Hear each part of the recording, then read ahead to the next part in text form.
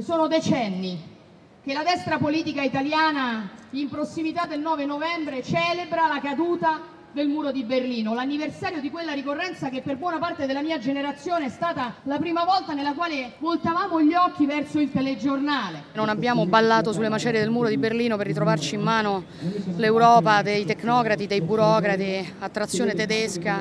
nella quale noi siamo una colonia e per ricordarci, come faremo domani a Bologna, che la sfida della politica che vogliamo rappresentare è quella di rimettere gli italiani al centro. Gli italiani vengono prima di tutto, i loro diritti, i loro bisogni, l'interesse nazionale di questa realtà e domani lo faremo rafforzando a Bologna quello che chiamiamo il fronte anti-Renzi proprio perché Renzi, come Letta e Monti prima di lui, altro non è che il fantoccio di interessi che non sono quelli italiani. È la prima volta che il centrodestra è così spostato sulla Lega, non rischia di spaventare gli elettori moderati?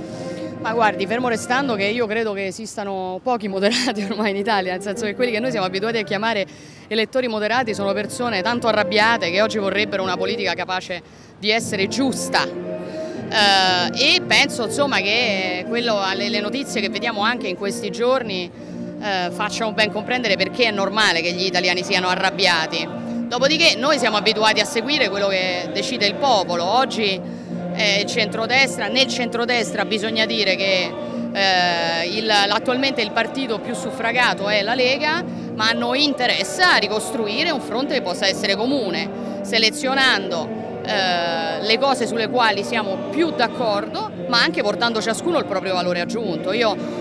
tra l'altro sono convinta che Fratelli d'Italia sia in potenza il movimento che nella, coalizione può crescere di più in assoluto proprio perché pur mantenendo una certa diciamo, radicalità nelle scelte, nelle posizioni, eh, lo fa diciamo, con, con, un occhio di riguardo anche ai toni no? e alla responsabilità che la classe dirigente ha nel essere un punto di riferimento. Però penso che sia giusto che ciascuno porti il suo valore aggiunto ed è quello che faremo anche noi perché l'obiettivo è un obiettivo comune, è riprenderci la nostra sovranità, la nostra libertà.